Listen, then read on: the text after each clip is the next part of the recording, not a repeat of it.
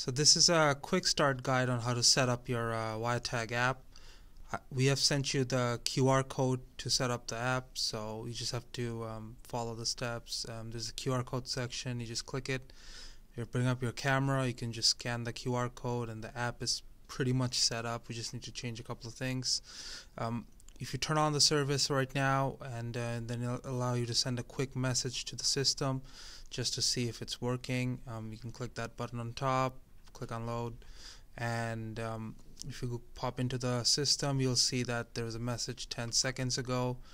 Um, that's uh, pretty much it. Uh, one more thing we need to set up is how to um, show your battery level on the system.